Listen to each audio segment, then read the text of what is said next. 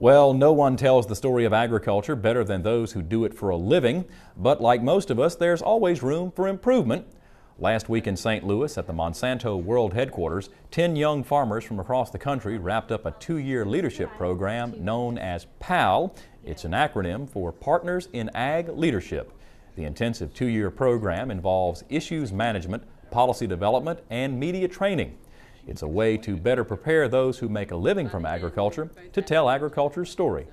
Leadership development, uh, opportunity to collaborate and network with other people, build partnerships for the better of communities just makes me tick and thrive and I wanted to learn everything I could about doing that. And having that avenue to be able to tell my story correctly and, and to the public so that uh, it's not misrepresented.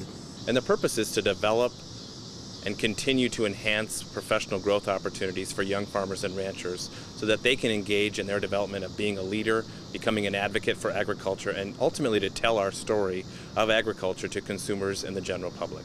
PAL graduates from Louisiana included Ville Platte rice grower Richard Fontenot, who currently serves as president of the Evangeline Parish Farm Bureau.